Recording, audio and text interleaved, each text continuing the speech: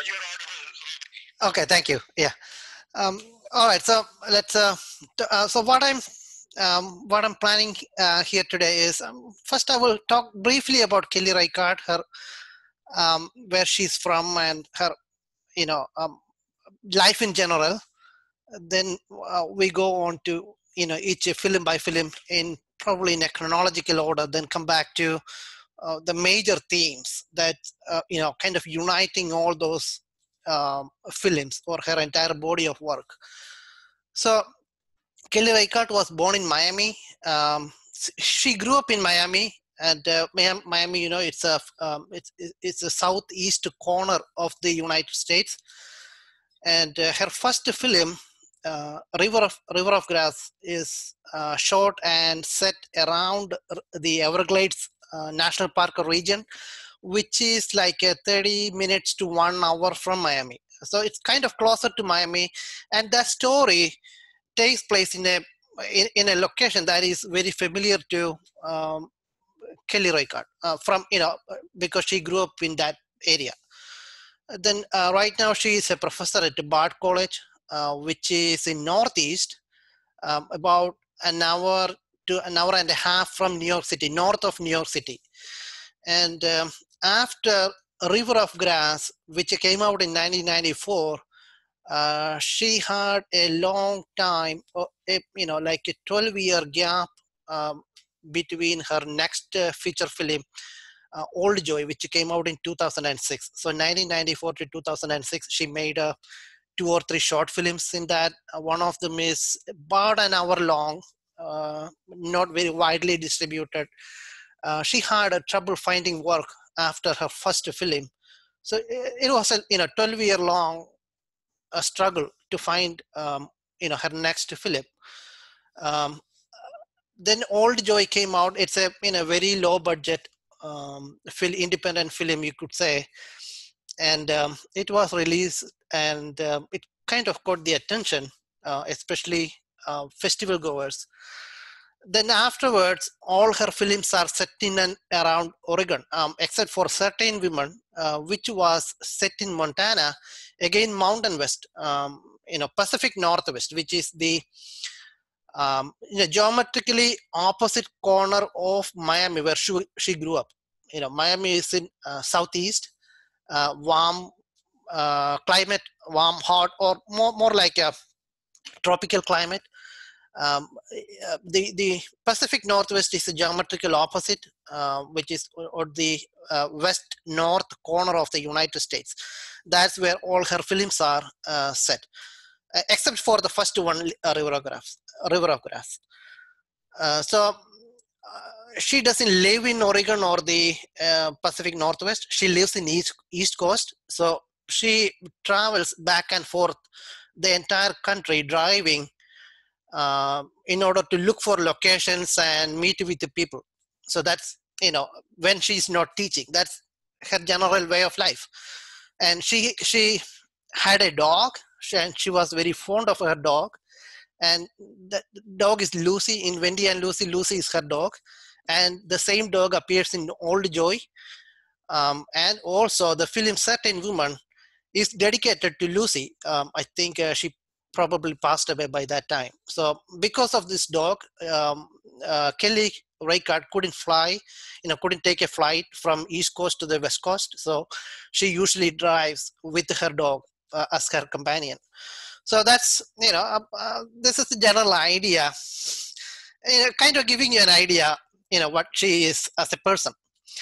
And now, uh, you know, starting with uh, River of Grass, which came out in 1994, a very low budget film. Um, it's about a woman um, kind of trapped in between circumstances and she wants to get into a better place and she falls for a, a, guy then there is you know a little bit of a crime um, misadventure with the uh, with the law uh, then they're trying to escape that city but they're unable to escape the city. So they're kind of trapped in the place and they, they want to go to a better place, but you know, ca- cannot do that. And it's kind of uh, a Bonnie and Clyde aspect to that film. and it is very tied to that specific location you know the everglades and um, you know the southern florida um, that that the story is very specific to that location and this is something we see all over kelly reichardt's work uh, each and every film is unique to you know it cannot be imagined in another location. For example if you take old joy it cannot be imagined in another um, state or, or, you know certain woman or any of her um, movies are you know, kind of closely related to their setting or the in, the location uh, the, the place where the story is set. So it cannot be set in California or New Mexico or you know eh, some place like that. It's very um, you know kind of um, there there is a very intricate relationship with the location.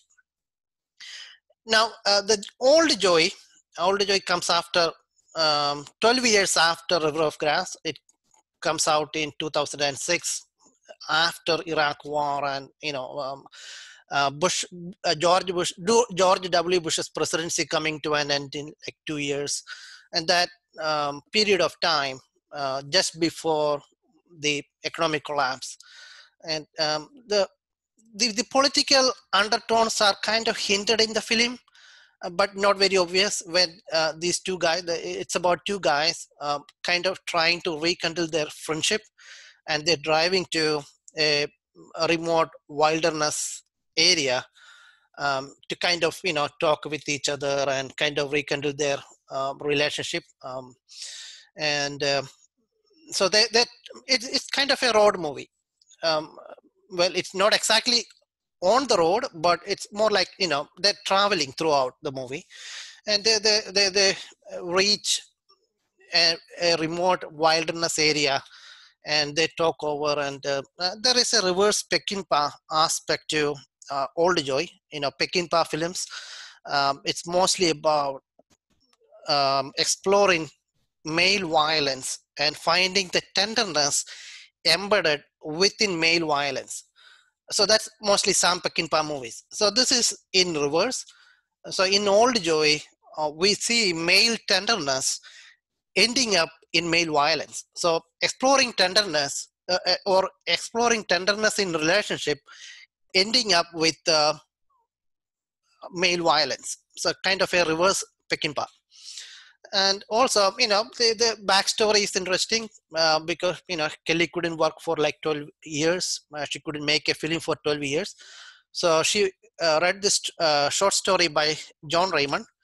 Then she emailed John Raymond, uh, do you have any other interesting story that I could adapt, which is set outdoors because I don't have money to afford for lighting. You know if if a film is set in interiors you need a um, you know um, lighting setup and she didn't have money for all that. So she wanted a story that can be shot outdoors with natural light. And also she could write her dog into the story uh, because she cannot you know leave the dog behind. Um, she she cannot uh, leave the dog dog alone at home. She you know she has to take her dog along with her when she's making the film. So um, John Raymond told her this is a you know there is a story, and uh, she reads Old Joy and uh, she rewrites the script along with John Raymond, and that movie I mean that story is set entire you know almost. Uh, uh, the entire movie is set outdoors, shot in natural light with a very low budget, and the, the, she wrote her own dog into the story. So the dog goes with these two people. So that's you know kind of interesting thing. Um, again, um, the relationship to animal is kind of very central to almost every film. Um, uh, in um, in Old Joy and Wendy and Lucy, there is you know there is a dog, and Wendy and Lucy, Lucy comes up in the title itself. So Lucy is the com- uh, companion for Wendy. So Wendy is trying to go to Alaska, uh, where she is hoping to find a job. So she has a car, but her car breaks down uh, again it's kind of a road movie but you know it's not like like a typical road movie but she's moving or she's trying to move or you know it's more like a, she is trying to find um, she to, she's trying to find an opportunity to seek a better opportunity. You know it's a you know pre-opportunity kind of idea So she hopes if she gets into Alaska, she may be able to find uh, a job of her liking and she can, you know, build a life there. But in order to go there, she has to have a car and you know gas money and uh, money for expenses and and somehow this person is outside the system we don't know about her family or she doesn't have much friends or anyone uh, and she's kind of alone in the in this world uh, except for her dog and um, um, as you know the story goes on it goes to devastating climax and very you know uh, emotionally um, devastating um, uh, culmination to the story of Wendy and Lucy. And again, uh, the idea that is that uh, Kelly has built in River of Grass um, and also in Old Joy uh, continues through Wendy and Lucy that uh, characters are kind of trapped in their atmosphere or you know the, the, the location they are the physical location or the circumstances. Uh, so these characters are trapped in their circumstances and the location they're trying to escape or go to a better place go to a better life. That's you know their immediate they, they, their eventual plan and ambition but um, you know somehow they are not able to uh, achieve that. Somehow they are not able to get to that place uh, that better life they are dreaming for or hoping for. So you know again that goal is not well defined. Uh, it, it's like a very amal, uh, you know, very very very amalgamous um, um, idea that you know going to Alaska might she might get a better job and she doesn't have the exact plan that what she's going to do. Or or in old joy uh, these two people are going to wilderness um, kind of to escape their own normal family life to rekindle a friendship so that you know they can have a more open um, you know body relationship with another man. And um, but somehow they are not able to achieve that. So the, the, the, goals are not very well set but somehow they're trying to escape or move to a better situation life situation for them.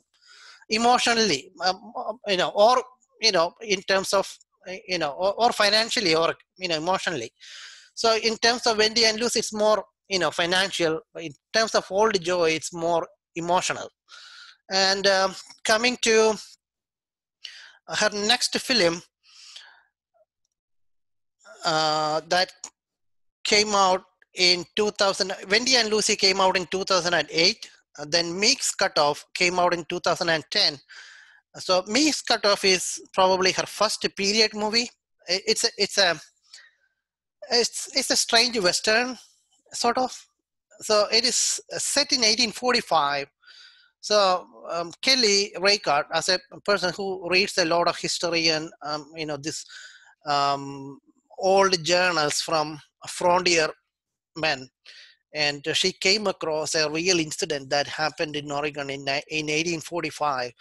So a group of people who are uh, going to Willamette Valley in, in Washington, Oregon area in the Pacific Northwest. So they're traveling from the east uh, and uh, they are led by a person called Stephen Meek. So it's a large group of people, like thousand people and about 150 wagons. It's a it's a very big group, and the Stephen Meek is the person who is leading them, and he convinces them that uh, he will take them to the Willamette Valley where you know kind of like um, the they're promised the land or the paradise so these people are looking for a better place so they're trapped in this you know not so likable surroundings or situation or you know landscape so these people are traveling through mountain desert, uh, desert and uh, crossing the Oregon and reaching the west coast. So um, Oregon and Washington State, if you look at, um, there's the Cascade Mount, Mountains. Uh, so on the west coast, there is the Pacific Ocean.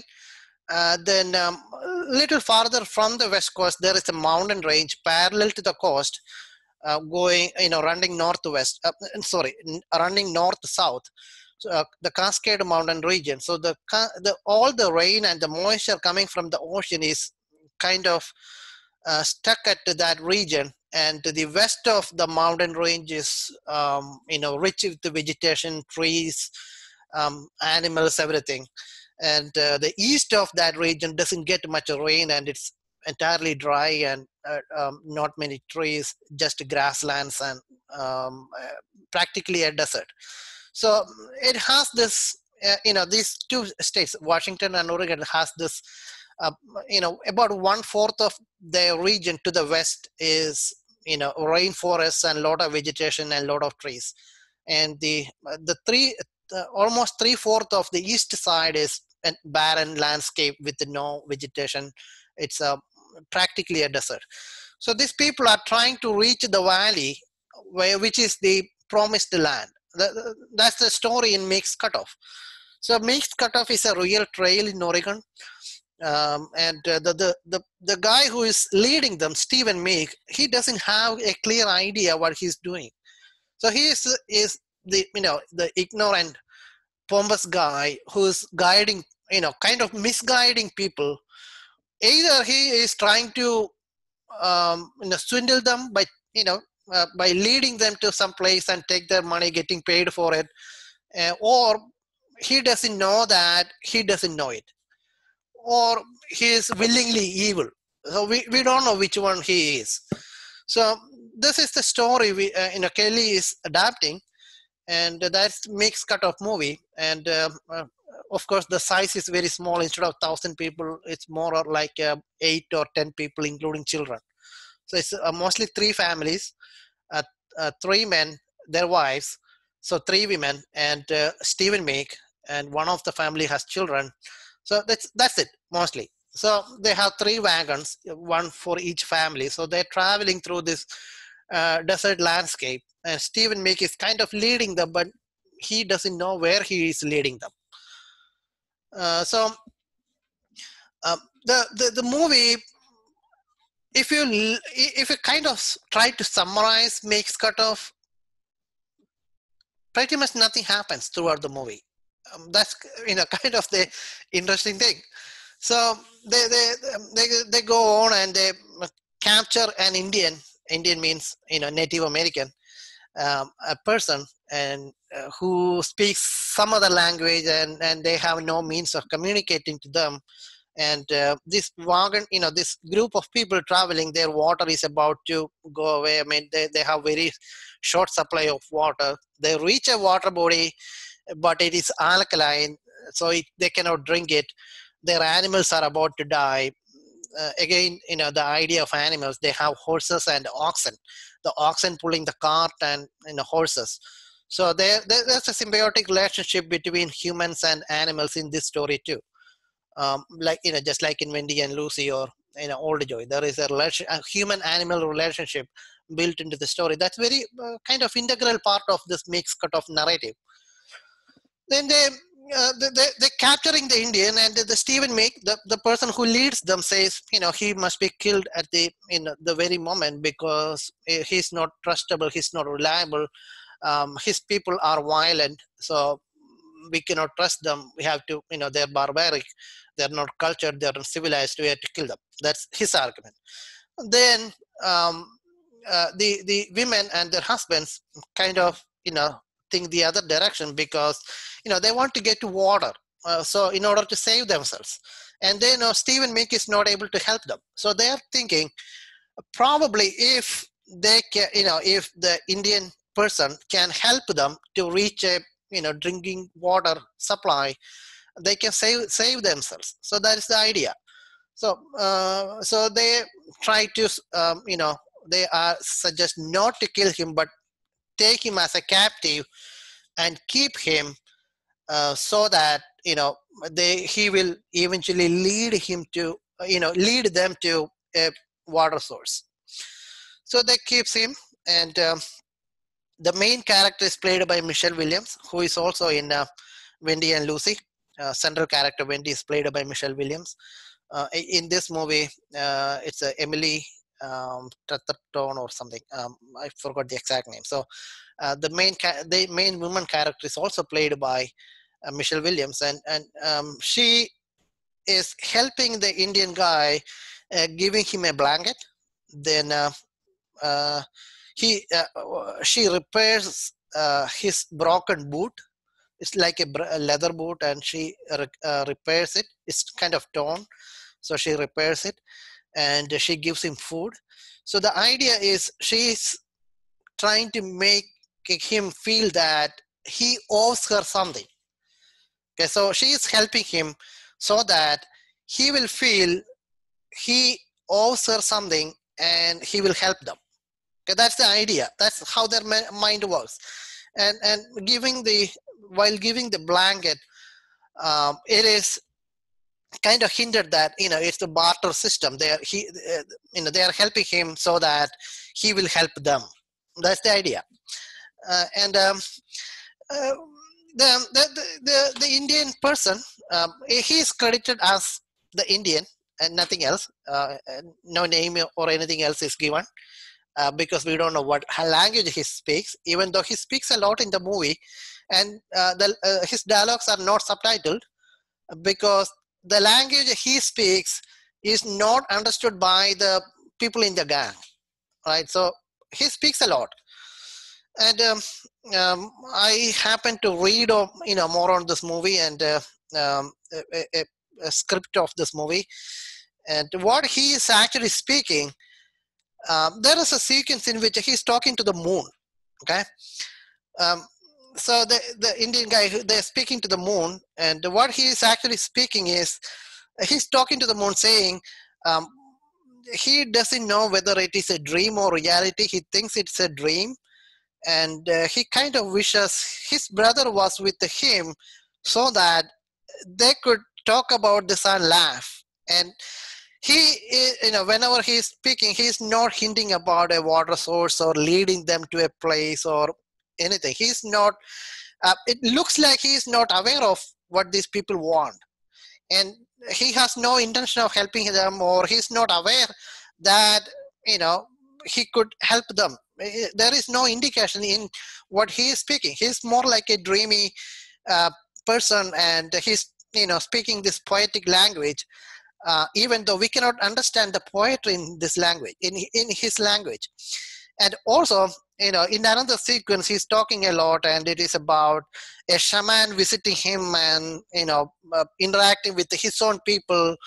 And he's kind of narrating a story to himself. Um, maybe because he's in captive, he's a captive, he's in bondage, he's not free, and he used to be free, and so he's kind of trying to escape his own predicament uh, by imagining his past or you know uh, thinking about his own relationship with his community so you know the, the idea is this person has a life and circumstance and a language and a culture entirely different from um, the the you know the wagon people you know um, all the meek and um, uh, the, the the Stephen Meek and the people led by Stephen Meek entirely different culture and and entirely different spirit.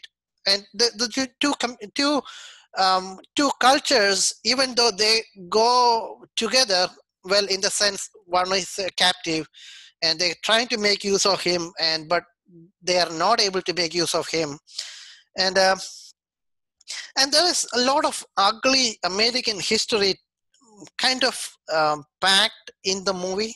So there is a scene in which uh, they are giving him a blanket, so there's a, it's kind of alluding to an old nasty history in um, in America that the Native American people were given blankets uh, with uh, smallpox uh, virus in order to kill them.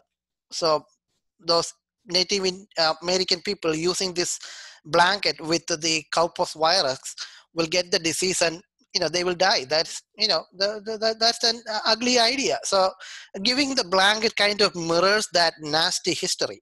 And also when uh, they are giving him the blanket uh, stephen meek says that one way or other we will take it back. Okay so there is long history of um, the americans or, or you know the, the, the white people um, giving native americans a lot of stuff in order to make use of them and take it back at you know at a later point. So you know there's a lot of ugly history uh, packed into this uh, small movie okay. then uh, again you know uh, form uh, if, if you think about the movie in a more formal sense it's uh, it has this uh, narrow academy ratio of 1 to 1.33 and that's because you know kelly herself said uh, that's because uh, the women, uh, the main characters in the movie, are wearing a, a headscarf. You know, they, they, they, they have a thing um, uh, on their head that's kind of limiting their field of vision. So their, their perspective is very limited. So in order to suggest that, uh, she decided to go with this, you know, 1.33 aspect ratio. Uh, uh, so because you know the movie is mostly about these women, the women are the major characters, and it's about their vision.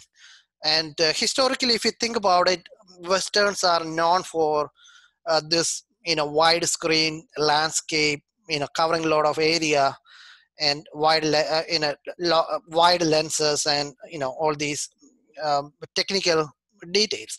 But this movie kind of goes in the opposite direction so you know you could say it's a um, uh, uh, what the exact term i forgot um, a regenerative uh, a reformative western or, or something i mean uh, um, so um, again that's the idea of Meek's Cutoff and um, uh, finally these people are reaching uh, uh, sorry, sorry, sorry. Uh, revisionist Western. Oh yeah, yeah, right. Yeah, I lost that word. Yeah, revisionist Western. Okay. Yeah, thank you. Yeah. So at the end of the movie, these people are reaching to a tree, isolated tree in a, in the middle of a uh, desert, and the tree is kind of half living or half dead, either way how you look at it. And um, there is no hint that they are reaching their destination. There is no hint that there is water for them. And the movie is kind of ending that moment. So, you know, if you look, go back to the real story, um, a lot of people who started off with uh, Stephen Meek eventually reached the Willamette Valley, you know, their destination, even though a lot of people died on the way. And the, the group kind of splits in between in the way, and there is a lot of drama actually. Um, you know some of the people in the group uh, he you know who recognized that Stephen Meek is kind of leading them off and he has no idea. They tried to kill them, kill Stephen Meek, and uh, Stephen Meek and his wife, uh, who recognizes this plot to kill them, kind of escape. Um, and there's a lot of drama, real drama in the in the real story but uh, you know when kelly is adapting the uh, the real story she's not uh, going for the drama. I mean um, almost any other you know filmmaker in hollywood in um, uh, kelly reichardt is not a hollywood filmmaker even though she's american not hollywood. But you know any any um, in a studio production of this uh, Meek's Cutoff story will uh, I'm sure it will go for this, you know, drama in the real story. But Kelly is not going for the drama. Instead, he's trying to um, capture this, you know, this uh, this moment in history where people are, you know, some people are trapped in a in a landscape that that is foreign to them, and they're trying to escape so that they can get to a better place and they can, you know, find opportunities uh, and probably build a better life in the new place. And, and you know, the you know, uh, uh, like all the um, uh, her previous work, it is about trying people trying to escape their predicament or their situation or or their their, their physical surrounding or their you know uh, situation, emotional and life situation. So um, after Meek's cutoff, it is night moves. Uh, so uh, that came out in 2013 so night moves uh, that is probably um, most mainstream film by kelly reichardt so it features a uh, lot of well-known actors uh, like uh, Jesse Eisenberg and Dakota Fanning and Peter Sarsgaard. Those are the three main people in the story. So these are uh, eco terrorists in some you know eco terrorists in some sense. So they're trying to blow up a dam uh, in order to send a message to the you know the the larger world that you know the the, the you know people have to be careful about uh, atmosphere and you know the climate and all the all these. So it is eco terrorism these people are these three main characters are eco terrorists and um, it's a, it, it's um, shot and edited more like a popular film. Uh, the pacing, especially, and um, you know um, all her previous work has kind of a slow rhythm with the lingering shots uh, not much uh, fast cutting but in night moves um, she kind of plots it like a thriller um, so the, the, there is you know three people coming together and they have a uh, mission to carry out a crime and to commit violence. And um, the, the almost the first 30 40 minutes of the film is their preparation and on the way we learn about we learn a little bit about them. And it is building their you know action. It's um, they're buying a boat and they're uh, trying to acquire fertilizer npk fertilizer which can be used to build a bomb so this is the idea. So they're trying to uh, get fake IDs and try to present this fake ID in order to get the fertilizer, so that they can make the bomb and transfer uh, transport uh, the bomb using a boat. And, and it, it's you know it's a uh, if you're watching it for the first time, it's not very obvious what they're trying to do. Uh, so because the movie kind of keeps its its um you know exposition exposition style uh, more like an art film so uh, it's even though the pacing and the cutting is more like a Hollywood genre movie, uh, the, the, the exposition is more like an art movie. So it does it exactly, you know, a, a genre movie, a genre movie made in Hollywood usually tells us the same information at least three times uh, so that people can remember and people can connect between these scenes and sequences. But Kelly doesn't do that. And he, she barely gives us information what they're trying to do. And we have to piece together bits of information in order to you know know their intention. And by the time we learn their intention and motivation uh, you know they are already doing it. They, they're blowing up the dam. So in a normal genre movie you would probably expect the you know the crime to be um, you know crime to happen more or less in the last act or somewhere around there. In this movie the the the the um, the the crime the the event they are focusing on happens somewhere around the middle of the movie. And it's not very elaborate but it's a more in, it's mostly silent because of these settings. And it's um, at night they have to um, they have to be silent uh, in order not to be caught and uh, they blow up the dam and um, uh, but now the situation is you know a person dies and they're trying to escape um, uh, you know trying try, trying not to be caught and they suspect the girl with them is uh, is going to talk to the police and you know it goes from there. So I, I don't want to go you know give out the entire story if you haven't watched it but anyway so that's the basic idea of the film so again um, if you think about it the, the, these are three people they, they think they are uh, kind of caught up in the wrong place, the wrong world. You know, uh, it, to them, they are okay, but the world is not okay. The world is not caring about climate change. The world is not caring about pollution. So they are fighting the world, or they're trying to send a message to the world so that they can, you know, kind of rectify the world, or they they can, you know, uh, rescue the world. That's their idea. Okay, they're, they're trying to reach a better world you know in some sense they're trying to make a better world in some sense even though their means are not you know that's not what, what actually happens they they fail to attain their their goal their primary goal even though it looks like is to blow up the dam but their ultimate goal is to make a change uh, bring a change uh, to the world.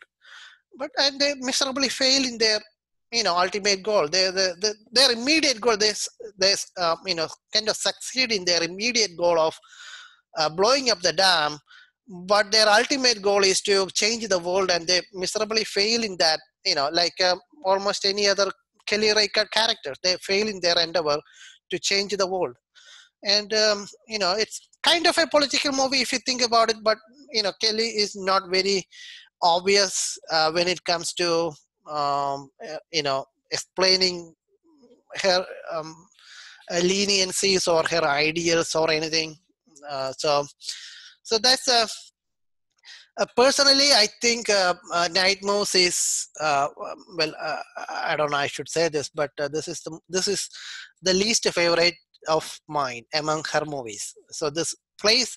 I think there is a lot of um, uneven pacing in the movie. Sometimes it's more lingering shots. sometimes it's too much, too fast. Um, and, and I think there is you know kind of uneven, and we don't we don't uh, see too much of the characters. We don't see their internal life. Um, I think that's that's what I thought about Night Moves. Then certain women. Uh, so this is the the story is set up in Montana. Um, uh, it's a portmanteau film, an anthological film uh, based on the stories of Maile Meloy. Uh, the three there are three stories, and the three stories are from two collections of Maile Meloy okay, three stories. Mm, and there are some known actors in this uh, movie. Um, there is Kristen Stewart playing one of the central characters. Then uh, Laura Dern, again Michelle Williams. Then there is Lily Gladstone.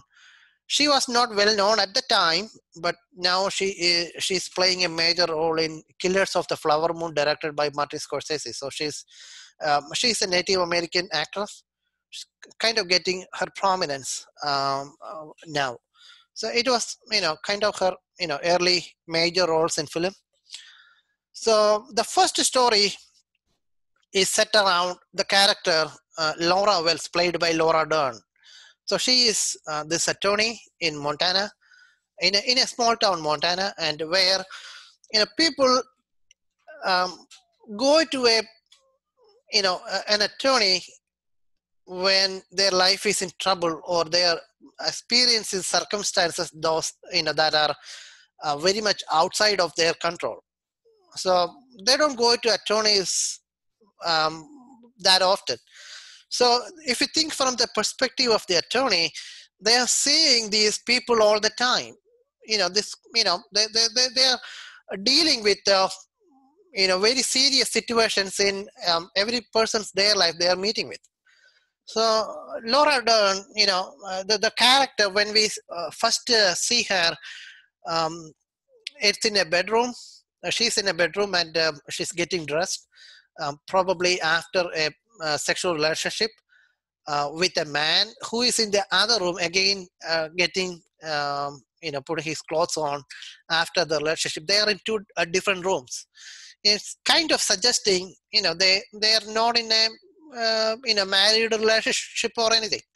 So it kind of brings the idea that she is um, she's more a career focused woman and uh, career focused woman and uh, she is uh, trying to find a, an emotional escapade with uh, with with a man um, whom she may or may not like. Uh, so it's you know it's like a fling. So um, that is the situation with her.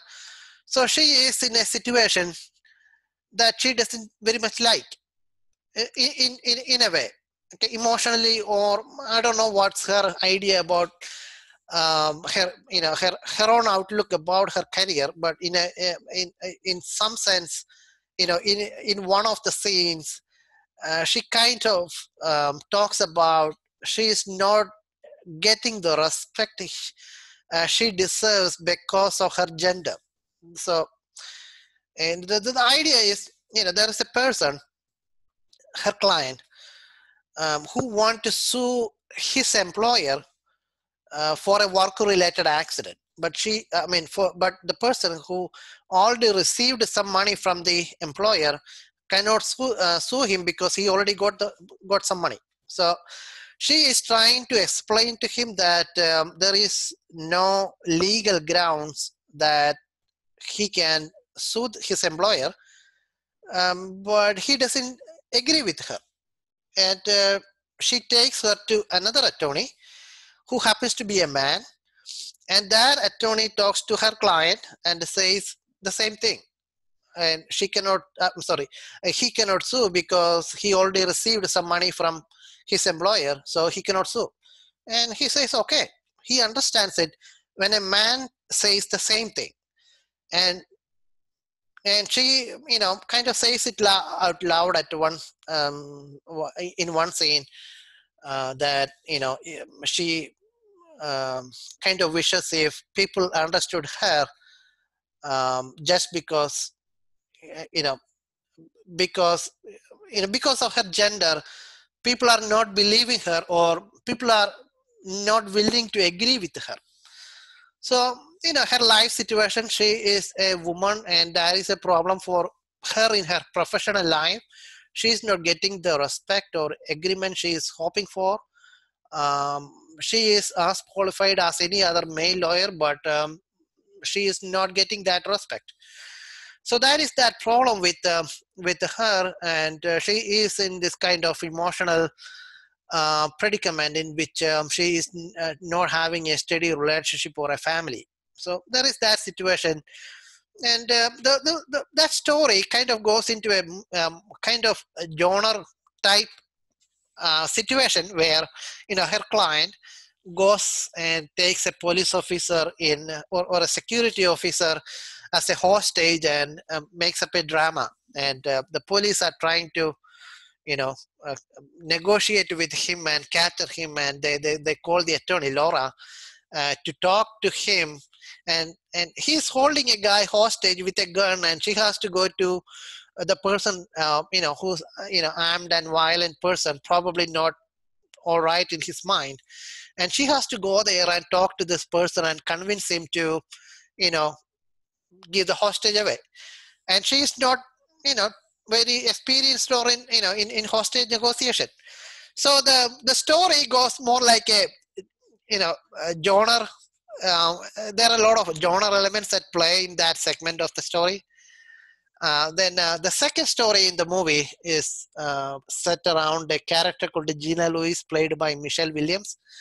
Again, um, that's one of the most uh, under understated stories in the entire movie. So this character um, camping with her husband and her daughter, teenage daughter, and she is not in a very good relationship with either her daughter or her husband.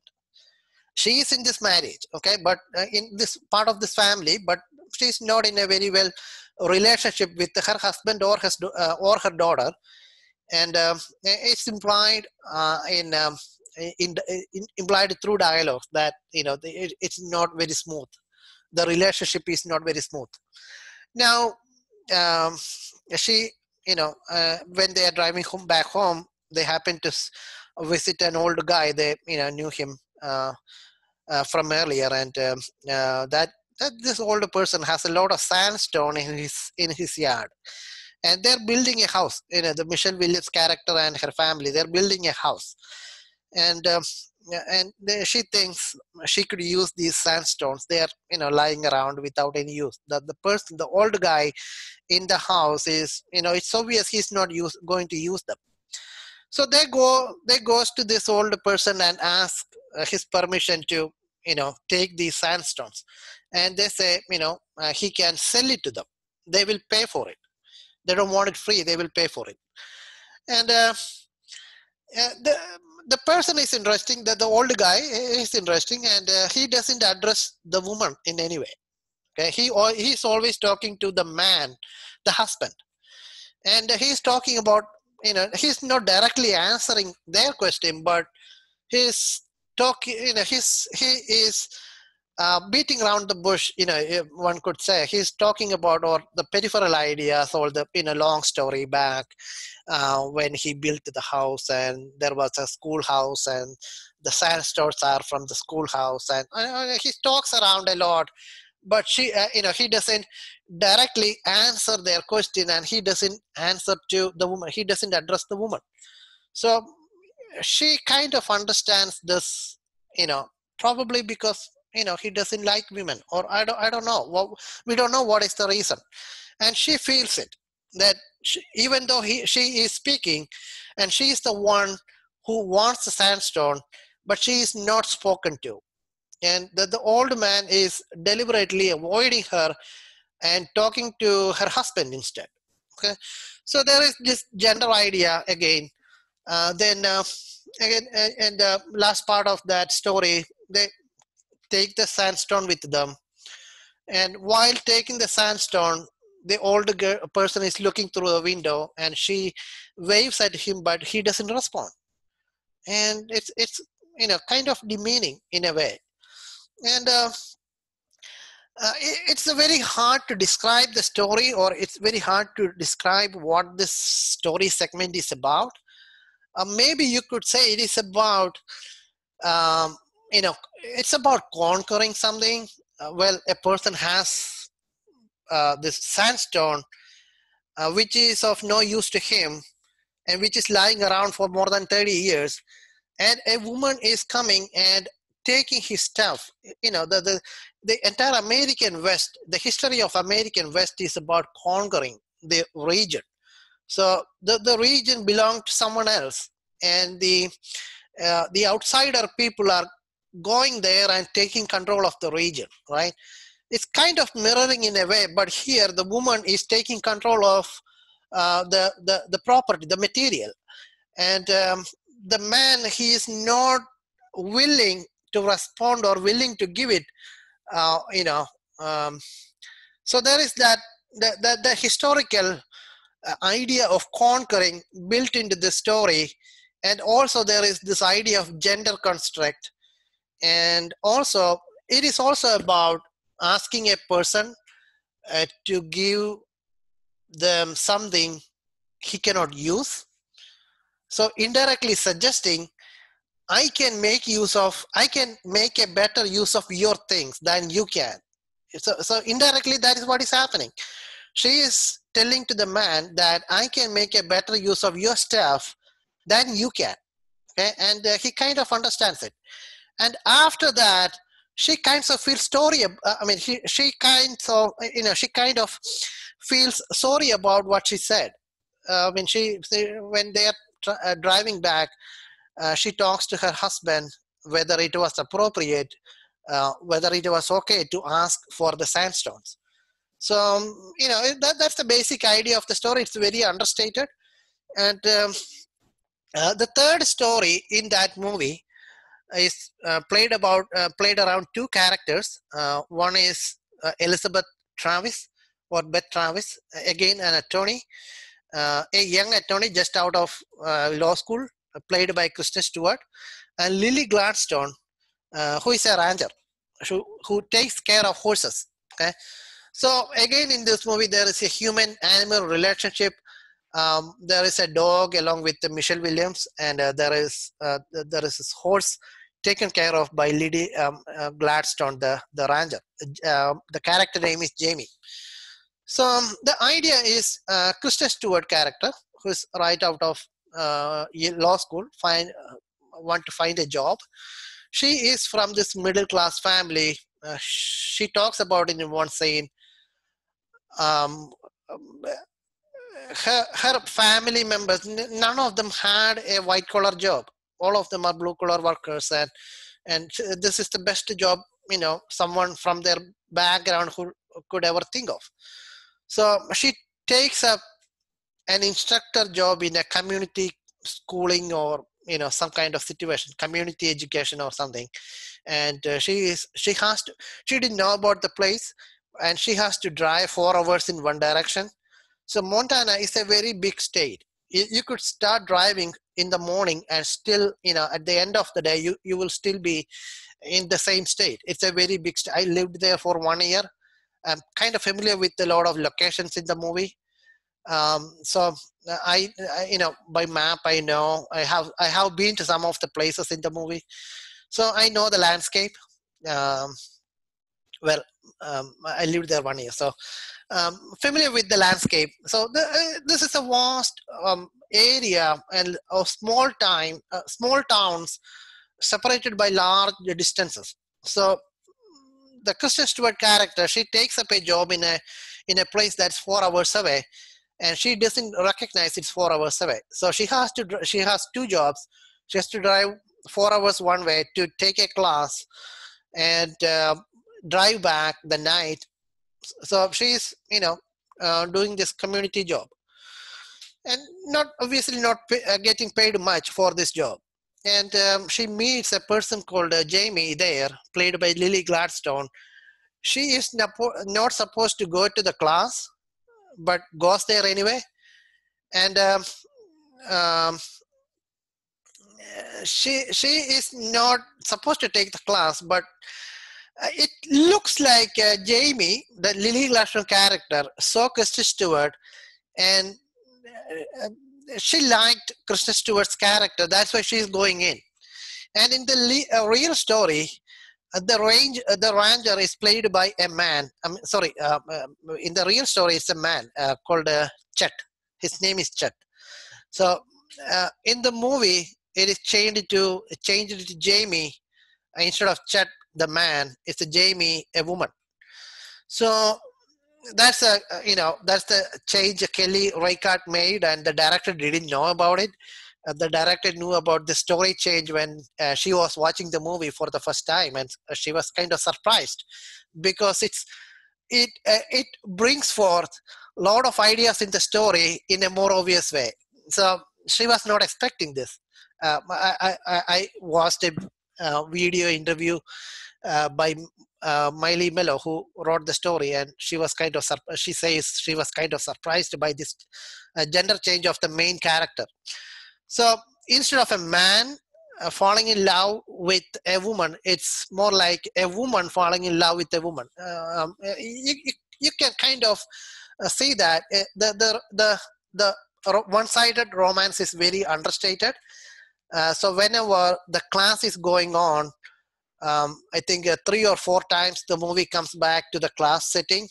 And each time we see the class from uh, the perspective of the Jamie's character, uh, the, the, the, character Jamie, Lily Gladstone's character. We see the room, the classroom from her perspective. And um, in, you know, each uh, subsequent scene set in the classroom, uh, we see uh, other students coming into the classroom after Jamie. So, you know, she's getting there earlier and earlier and earlier, you know, as time goes on, she's getting there earlier uh, in anticipation of uh, meeting Elizabeth or, you know, the Kristen Stewart character. And uh, when Elizabeth uh, enters the room, her eyes light up. We can see um, um, her uh, pupils dilate and um, it's uh, it's kind of obvious that she is falling in love with the uh, with the, Kristen Stewart character, but uh, the Kristen Stewart character doesn't recognize it. Okay? And uh, after the class, they go to a diner, and um, they, they order. I mean, um, Beth is eating. Beth, Kristen Stewart character. Uh, so Elizabeth. So Beth is eating. Uh, she orders a burger, eats half of it, and offers the other half to Jamie but uh, Jamie uh, refused the food. She doesn't take the food, even though she is hungry. Okay, we know he, she is hungry because followed by that scene, Beth goes away. Beth drives to the other sta- uh, um, um, the other city uh, at night, and um, uh, Jamie is going to her own uh, ranch, and um, she is eating a you know packaged burger in like a you know like a one dollar burger, very cheap burger that you can buy uh, from a gas station or someplace. So she is obviously uh, not having much money, and she's hungry. And um, even though she's hungry, she's not offering food offered by um, the Stewart character, who is a lawyer, okay, who's right out the jo- lawyer and uh, has this movie star charisma with her. So she's um, you know the, the the the you know Kristen Stewart has this movie star charisma with her with her appearance, and that appearance is uh, kind of used in the movie in, in an interesting way. And it, uh, even though Kristen Stewart um, is the well-known character, but the story is not around the, her character. The story is more about around Jamie, played by uh, Lily Gladstone, and um, well, it's um, it's kind of understated romance in the movie then after that, after that movie, let's go into the recent movie First Cow. So uh, again, um, that is based on a novel written by John Raymond, who also wrote the story behind Old Joy, and uh, I think uh, Night Moves. Um, she, uh, he is a frequent collaborator uh, for Kelly Reichardt. So um, it's a uh, the, the first Ghost um, movie is based on a novel called Half Life, and that story uh, revolves around two time periods. but um, the movie focuses more on uh, one of the time periods, which is set in um, around 1821, again in Oregon. That's the frontier place at that time. So the movie starts with um, a traveling group of uh, fur trappers. So they kill beaver and take the fur and uh, trade the fur, and that that was the idea. Uh, so it was, you know, long before you could imagine any Western movie setting. So it was long before the frontier men were there, and there are no uh, white women in the entire movie because there were no white women in the Western frontier at that time. And uh, it's actually a very diverse crowd of characters. So the main character is um, uh, Cookie uh. That's the name. Cookie is, you know, that's what people call him because he's a cook. Uh, you know, he's a cook. Uh, so he's called Cookie, and he's traveling with uh, uh, a group of fur trappers, and they happen to meet a Chinese people, uh, a Chinese man, uh, King Hu. I think his name is King-Lu. Yeah, and um, well, that is the main story idea. Okay, that's the main story is set around. But even before that, there is a small segment, maybe like 10 minutes. There's a small segment uh, where the where the where it is set uh, somewhere in the modern time period probably a, you know the current time period uh, where a girl is walking around with her dog again the human animal connection there. Maybe you could think of it as wendy and lucy but uh, this time it's not wendy mean, it's a uh, played by alia Shaik, uh, Shawkat and, and a dog and they're walking around and the dog sniffs around you know in the ground and in the background we see a ship. We see uh, we hear the whistles of a of a train and we hear uh, sound from an aeroplane so you know there is uh, uh also we see some uh, smoke probably from a factory or someplace and you know it's hinting this industrialized uh, western um, you know city or you know suburban landscape or someplace right so it's not clear where it is, but it's obvious it is present. I mean, it is present day that the, the that beginning sequences are set in. So this woman um, walking around with her dog, and dog is sniffing around the ground, and and and she uh, happens to spot a skull there. So so she digs around the skull and finds two bodies, uh, two two skeletons lying side by side. So we, you know, we see a static shot of the two, uh, two skeletons lying there. And there, there's an interesting edit. It goes to 200 years back in uh, 1821 and where a guy is plucking mushrooms, uh, picking mushrooms. Uh, that is Cookie Figowitz. And, you know, Cookie is traveling with uh, some fur trappers and he's, you know, trying to reach a place where they could find a better life, like in any other Kelly Reichardt characters. And um, uh, they, they, uh, you know, Cookie happens to meet this um, Chinaman. He's being traced by, or he's being chased by Russians who want to kill him because he killed someone in their group uh, for you know there, there, there, there, there is a backstory with this chinese person and uh, we kind of get the idea he's not a violent person or anything, but you know he happens to have done this crime, and he's being chased for that crime he did or that act of violence, and um, he's being uh, uh, chased and he's trying to escape. So Cookie helps him. Uh, Cookie hides him and gives him food, and when they reach the their destination, you know the fur trappers go away you know they are you know continuously traveling so cookie stays behind uh, with this chinese person and um, the chinese person takes cookie to his house which is kind of a makeshift arrangement. You know, um, the, the, the it's, it, it's built from some wood and very crudely built structure, and he's living in there. As soon as they reach in that house, Cookie takes charge of this, uh, you know, the area, the house, and he starts cleaning the house. You know, kind of taking place the uh, taking the place of a wife, or you know, um, you, you know, in that in that cultural uh, landscape, what do you expect for for a woman to do? That's what Cookie is doing. So these two um, men they strike up a very domestic relationship. Uh, there is no hint of sexuality or anything. They they you know they immediately uh, fall in a friendship. So you know in a way it kind of uh, reminds about old joy, which is again about the friendship between two men. So old joy in a way was about the end of a friendship, but first cow is more about the beginning of a friendship, right? Now these two men, uh, they see a you know a cow is being brought to the place by a, um, a chief factor. Um, I mean, we don't know what that is. Probably uh, the local governor or something, which is uh, you know who is played by Toby Jones, British actor, very interesting actor.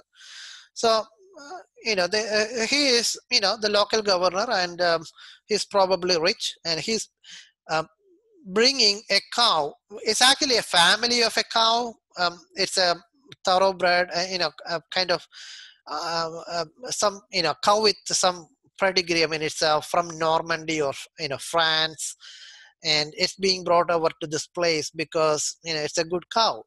Uh, but on the way um, the ox dies on the way and also the calf dies on the way and it's just the cow that reaches the destination. So it's just the cow and um, the cow is kind of the female lead in the movie okay there is no heroine the heroine is the cow okay and also the title character right and um, so we see a kind, a kind of a you know triangular uh, relationship between Cookie and the, the Chinese person and the cow. So they what they do is they're milking the cow at night uh, to make um, you know the prototype of a donut or something. They call it oily cake. So Cookie is a cook, right? So he knows how to uh, bake stuff. So there's a backstory for Cookie. So from the, his name, Figowitz, he's a Jew, and Jews were discriminated against that time. So he grew up in Maryland, but but he doesn't have much um, family or anything. Uh, he happened to be in Boston for some reason, and um, he learned cooking or baking um, uh, while working for a baker in Boston. Now, there is this backstory. And probably situations were not very nice probably because of his you know jewish background. And that's why he's going to the new place okay? And he's hoping probably in a new you know the, the wild west is kind of a new place. There is you know probably not discrimination. Probably uh, he will not be discriminated against. And um, that's why he's going to a new place okay? So he is in this new place now but that's not his final destination either. So he want to go to a more warmer place okay? You know oregon is to the north and it's cold in winter. So he want to go to a warmer place probably california or some place and makes you know want to build a restaurant and you know that's his you know ultimate goal. That's his ambition. And um, these two people you know the, the chinese person and uh, um, this cook okay? They, they strike up a relationship and they're stealing the cow milk at night and making this oily cake and selling it to people.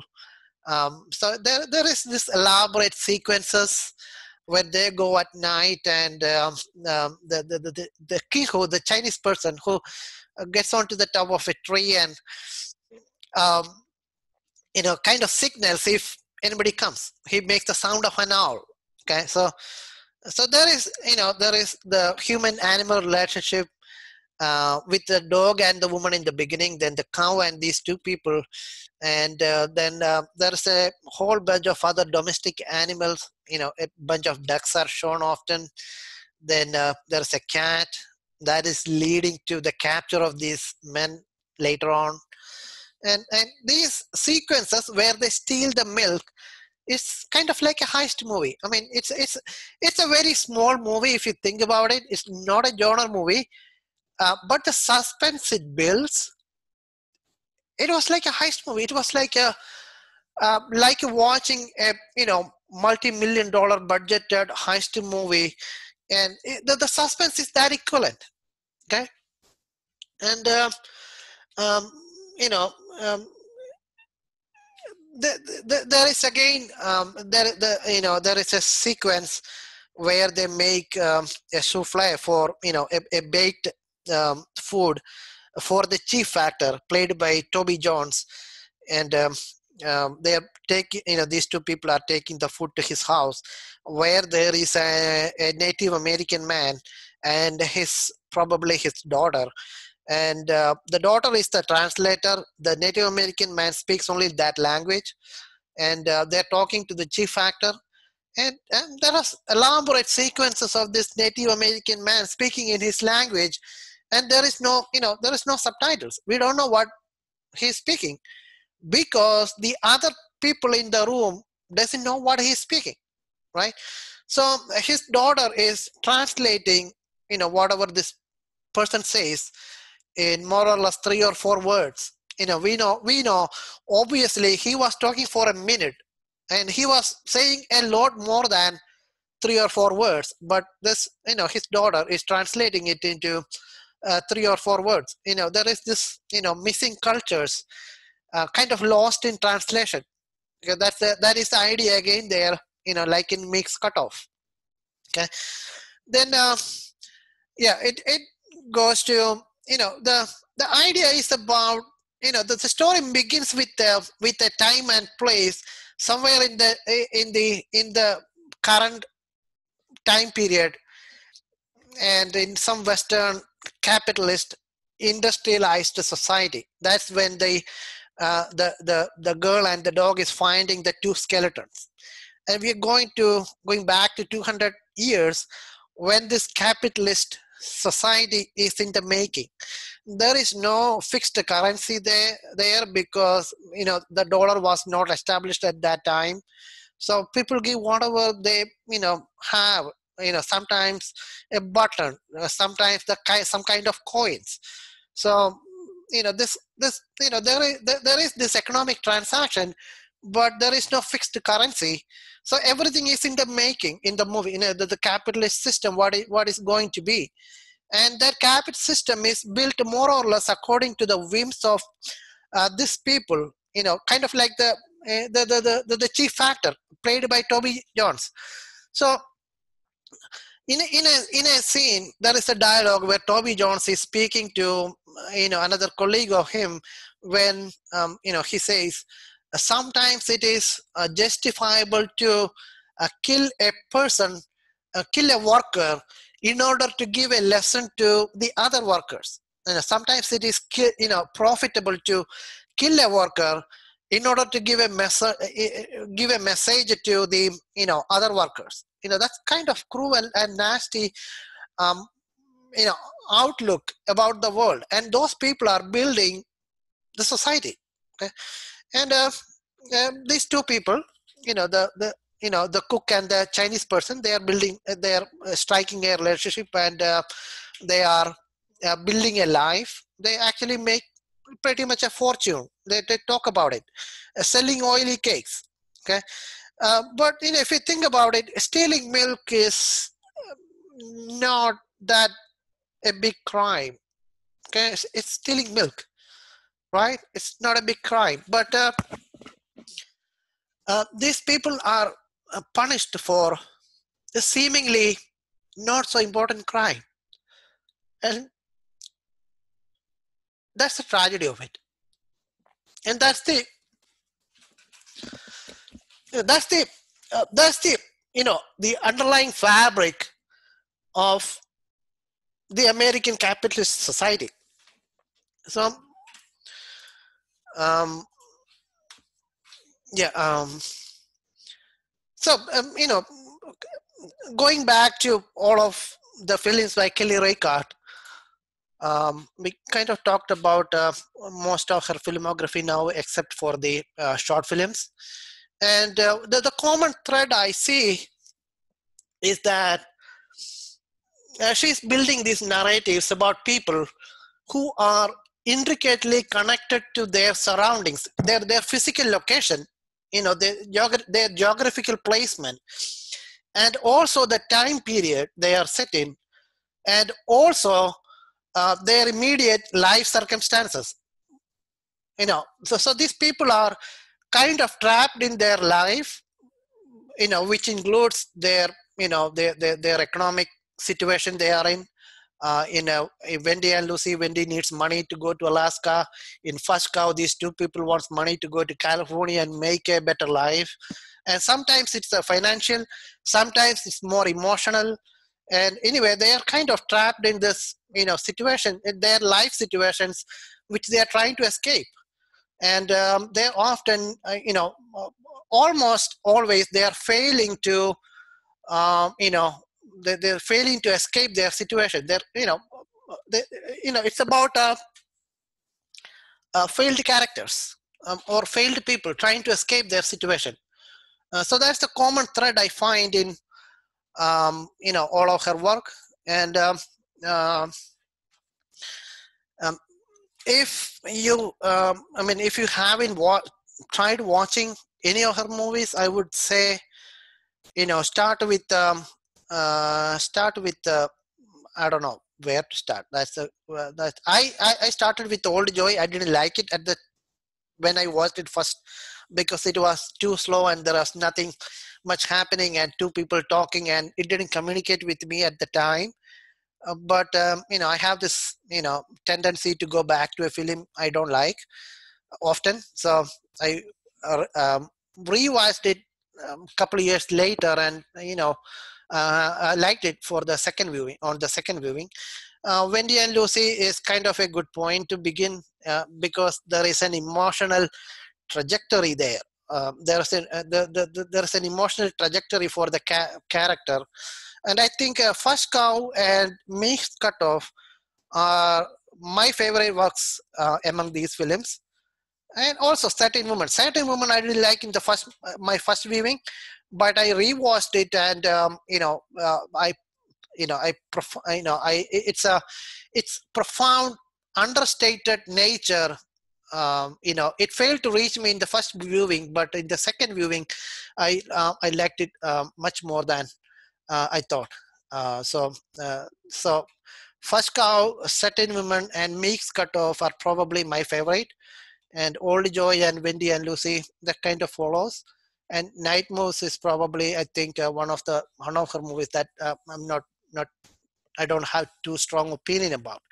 Even though it plays more like a genre movie or you know more, more you know, but um, you know so yeah that's it. That is what I want to say right now. Uh, probably in a, in a, a you know in, um, uh, if I think more about it, you know there are a lot of things coming into my mind, but you know we have to stop at some point. All right. Thank you.